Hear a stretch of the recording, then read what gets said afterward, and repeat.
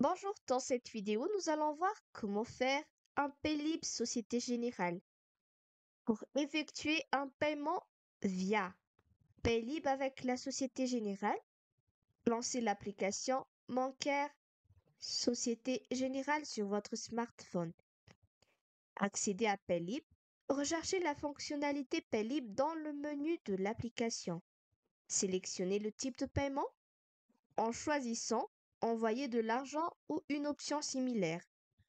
Entrez les coordonnées du bénéficiaire. Vous pouvez entrer le numéro de téléphone ou adresse mail du bénéficiaire selon les options disponibles. Saisissez le montant. Indiquez le montant que vous souhaitez envoyer. Puis confirmez la transaction.